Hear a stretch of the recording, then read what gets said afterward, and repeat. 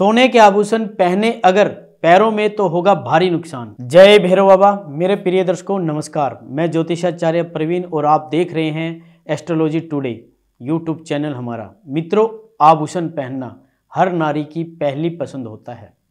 हमारी भारतीय संस्कृति में, पुराणों में, शास्त्रों में भी आभूषणों का महत्व बताया गया है। हमारे देवी देवताओं को भी सोने आभूषण बहुत प्रिय थे। मित्रों, आज का ये वीडियो इसी विषय पर है। आज हम आपको बताएँगे कि सोने के आभूषण पैरों में क्यों नहीं पहनने चाहिए। वैसे तो सोने के आभूषण पहनने में भेद सुंदर लगते हैं, लेकिन धार्मिक मान्यता के अनुसार सोने के आभूषण को पैरों में नहीं पहनना चाहिए। मित्रों, धर्म के अनुसार भगवान श्री हरि विष्णु को सोना अत्यंत प्रिय है, इसलिए इसे नाभि या कमर से नीचे नहीं पहनना चाहिए। ऐसी मानता है कि यदि आप पैरों में सोना पहनते हैं तो आप भगवान विष्णु को नाराज़ करते हैं और भगवान विष्णु की तरह ही माता लक्ष्मी जी को भी सोना अत्यंत प्रिय होता है और सोने में माँ लक्ष्मी का वास होता है। और यदि आप ऐसा करते हैं तो आपको आर्थिक संकट का भी सामना करना पड़ सकता है। मित्रों, ये थी धार्मिक मान्यता, लेकिन पैरों में सोने के आभूषण न पहनने का एक वैज्ञानिक दृष्टिकोण भी है। और वो ये है, हमारे शरीर जो कि पंच तत्वों से निर्मित है, जिसमें शरीर के ऊपरी भाग को ठंडक और निचले हिस्से को ग्रहमाट की ज़रूरत होती है और सोने के आभूषण शरीर में गर्मी को बढ़ाते हैं। ऐसे में यदि आप पैरों में सोने के आभूषण पहनेंगे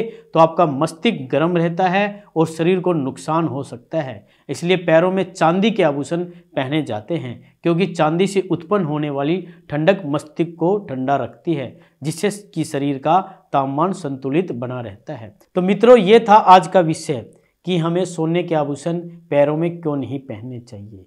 तो मेरे प्रिय दर्शकों अगले वीडियो में मैं आपको बताऊँगा कि सोने के आभूषण पहनने से क्या क्या लाभ मिलता है कौन सा ग्रह मज़बूत होता है और कब पहनना चाहिए, लेकिन पैरों में नहीं पहनना चाहिए नाभि से ऊपर ऊपर सोने के जो है आभूषण पहनने चाहिए और कब पहनने चाहिए ये भी बताऊँगा, इसलिए चैनल को सब्सक्राइब कीजिए ताकि आने वाली वीडियो आप देख पाए।